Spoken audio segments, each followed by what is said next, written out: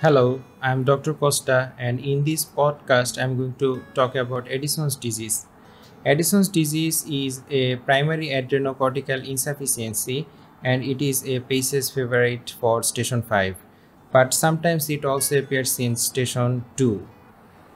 Addison's disease is not the only cause for primary adrenocortical insufficiency, there are other causes as well. Other causes of primary hypoadrenalism are tuberculosis, but it is uncommon in the UK, surgical removal of adrenal glands, hemorrhage or infarction in adrenal glands. It happens in meningococcal septicemia and venography, then infiltrative diseases of adrenal glands, infiltration due to malignancy and amyloidosis. Now let's get back to today's discussion which is Addison's disease. It is an autoimmune adrenal condition. In this condition there is destruction of entire adrenal cortex. Glucocorticoid, mineralocorticoid and sex steroid production are therefore all reduced. Some of the common symptoms of Addison's disease are weight loss, malaise, weakness, fever, anorexia, nausea or vomiting, diarrhea, abdominal pain, constipation, depression, confusion, myalgia, joint or back pain, impotence or amenorrhea, postural hypotension.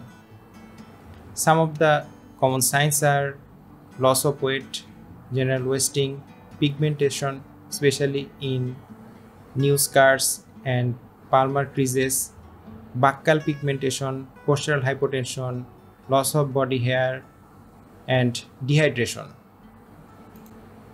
Whenever you enter the examination room to face an Addison's disease case, you should look around the bedside for any clues and you should look at the wrists of the patient to find out any medical alert bracelet. You should ask about tiredness and fatigue, postural hypotension, and skin pigmentation. Sometimes Addison's disease can be associated with other autoimmune conditions like diabetes mellitus, autoimmune thyroid disease, pernicious anemia, certain rheumatological conditions such as SLE, rheumatoid arthritis, Sjogren's syndrome, etc. A great percentage of Addison's disease cases also have vitiligo. So you should actively look for vitiligo lesions. In your focused clinical history, you should ask about the tiredness. When did your tiredness started? Any variation during the day? Any effect on quality of life? You should ask about postural hypotension. Do you feel any dizziness while you stand up from sitting position? You should take complete history of skin rashes. When did it start? How did the rashes spread? In which location do you have rashes? Does these rashes itches? Does these rashes oozes? Is it painful or not, etc. If patient complains about loss of appetite or weight loss, then you should ask about how much weight did you lose in how many days. Was it intentional or unintentional? Any diarrhea abdominal pain or vomiting? You should look at the neck of the patient. Especially you should look for the goiter over the neck region because it is associated with autoimmune thyroid disease you should check the eyes of the patient to find out if there is any anemia or not. You should look at the fingers of the patient to find out any finger prick marks for diabetes mellitus. And finally to exclude the rheumatological causes you can ask is there any joint pain? Is there any rash in the sun exposed area any hair loss any problem with menstruation if the patient is pregnant you should always ask about three P's pill, period, and pregnancy. Do you take any oral contraceptive pill? Are you pregnant? Are you having normal periods? Etc. Finally, you should not forget about asking drug history, especially steroid use, because steroid use is associated with secondary hypoadrenalism. Smoking and alcoholism history, social history, family history, and occupational history, travel history, and menstrual history. You should also ask about the concerns of the patient. If patient has any issues regarding his or her social, family, or occupational life, then you should address these concerns as well.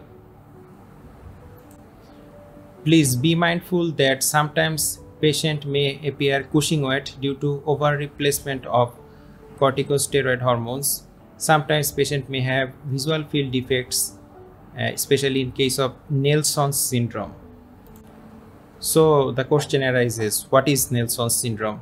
Nelson syndrome occurs in about 20% of cases after bilateral adrenalectomy for Cushing's disease and is characterized by increased pigmentation because of high levels of ACTH.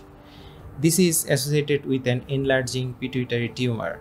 The syndrome is rare now that the adrenalectomy is an uncommon primary treatment and its incidence may be reduced by pituitary hypo, uh, radiotherapy soon after adrenalectomy. After completion of history taking and focused clinical examination, you should present your case to the examiner as the Addison's disease. If the examiner asks you about any differential diagnosis, then you can tell him about the differential diagnosis of primary and or secondary adrenal insufficiency. The differentials for primary adrenal insufficiency I have covered earlier in this podcast. One of the main cause of secondary adrenal insufficiency is exogenous steroid use. It suppresses the pituitary adrenal axis. So if the patient has steroid use history, then you can also keep a differential diagnosis of secondary adrenal insufficiency.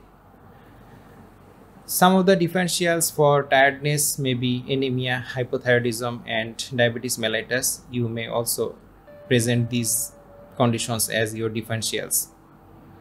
Then the examiner will ask you about the investigations. How would you reach the diagnosis? So the first examination would be a full blood count which would show lymphocytosis, eosinophilia and anemia.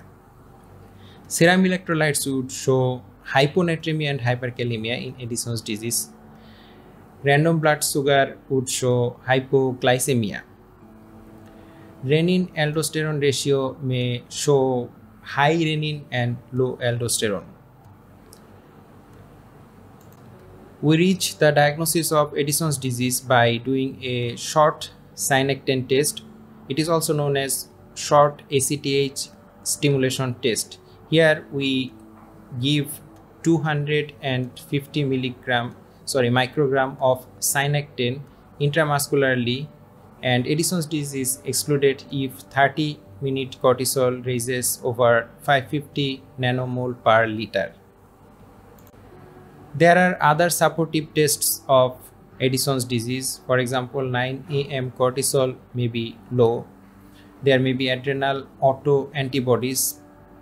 ACTH level may be raised in primary hypoadrenalism and may be low in secondary hypoadrenalism there may be supporting evidence from imaging tests. For example, chest X-ray may show changes typical of tuberculosis.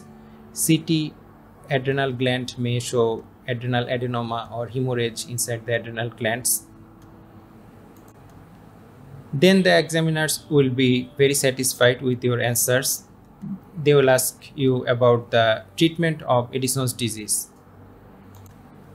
The treatment of Addison's disease is done by glucocorticoid replacement, mineralocorticoid replacement, and androgen replacement in some cases. Glucocorticoid replacement.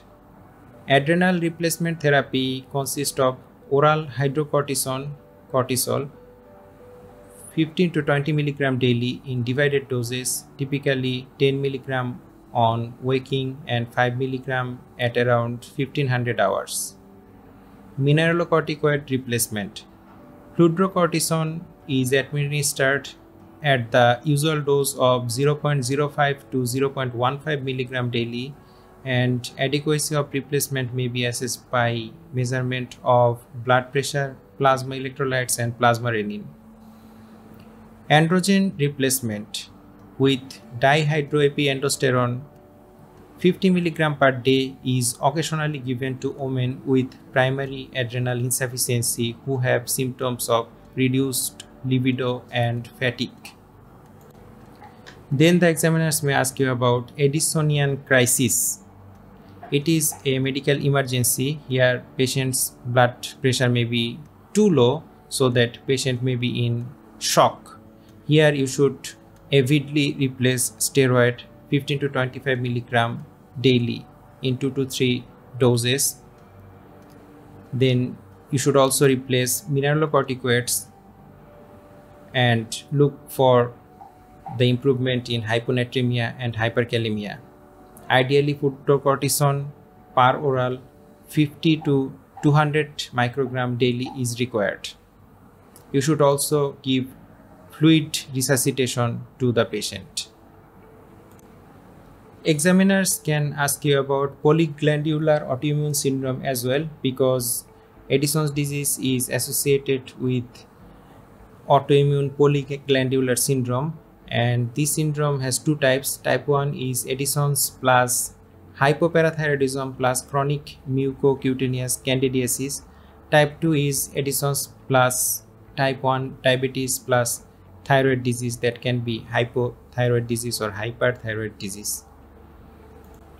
Now i would summarize the addison's disease case. If you find a addison's disease case in your station 5 PACES then you should obviously ask for skin pigmentation that may be due to Addison's itself, hyperpigmentation or hypopigmentation due to associated vitiligo. You should look for goiter. You should ask about tiredness, lethargy, nausea, vomiting, menstrual problem, any visual field defect, joint pain, any other rashes, etc you should never ever forget about asking any steroid replacement menstrual history pregnancy if the patient is female. And these are the things you should never miss. I hope this podcast will be helpful to you. I have given you a lot of information. If you cannot remember all the information then you are most welcome to listen to this podcast again. Please write your comments in the comment section. And if you want podcast on any specific medical condition, please let me know. I would create one podcast for you. Thank you.